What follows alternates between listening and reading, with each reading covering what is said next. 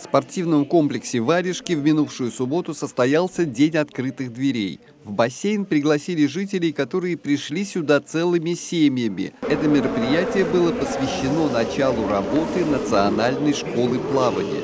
Ее организаторы – известные в России спортсмены. Среди них многократный чемпион и рекордсмен Европы и мира, серебряный и бронзовый призер Олимпийских игр, заслуженный мастер спорта СССР Дмитрий Волков. Он рассказал, что в спорткомплексе будут проводиться занятия, основная цель которых – научить всех желающих уверенно держаться на воде, приобрести навыки плавания разными стилями. Здесь будут собраны лучшие специалисты по водным видам спорта. Э, наши тренеры, тренер, наши тренеры Национальной школы плавания, их компетенции позволяют э, дать э, эти навыки и качества для всех желающих, для того, чтобы люди чувствовали себя защищенными, ибо плавание позволяет по-новому взглянуть на мир, по-новому взглянуть на себя самого, лишиться, избавиться от фобий. Гостям спорткомплекса показали красивое водное шоу. Синхронное плавание продемонстрировали многократные чемпионки мира, Европы и России Софья и Антонина Волковы.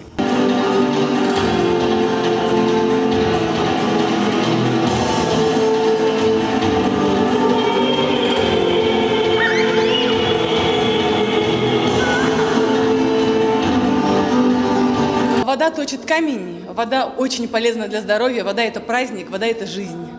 Артистическое плавание – самый лучший вид спорта для девочек. Всех приглашаем в Национальную школу плавания, ждем и любим каждого ребенка, кто к нам придет.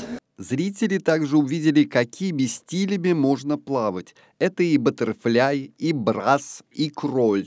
Научиться плавать – это не только получить удовольствие, наслаждение от пребывания в водной среде, но и это способность спасти, сохранить себе жизнь и спасти, возможно, близких тех, э, чья жизнь тебе дорога. В спортивном комплексе «Варежки» занятия будут проводиться как для детей, так и для взрослых. Для гостей в День открытых дверей в спорткомплексе также провели познавательную беседу о благотворном влиянии плавания на здоровье человека. Андрей Цеханович, Валерий Жиглей, Щелковское телевидение.